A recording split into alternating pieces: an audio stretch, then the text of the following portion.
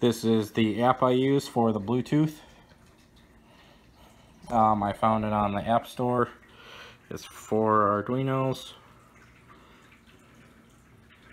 It's this Arduino Bluetooth controller app.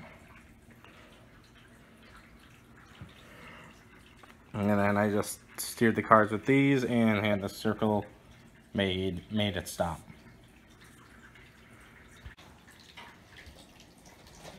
This is my Bluetooth car with GPS. It uh, goes back, forwards, left, right. And I can stop too. It has a GPS on it so that it relays its coordinates back to my computer as it moves around which I will show in a continuation of this video on my computer here in a minute.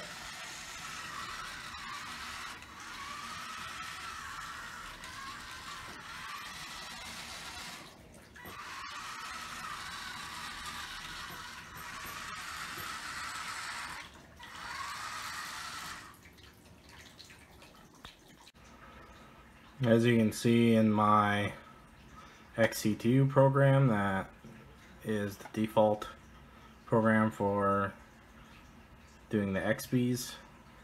Uh, the coordinates are being sent into the log here on my computer. And let me stop that. It's been sitting in place. You can see that as the car is moving around, the coordinates are changing and it's being logged on the computer.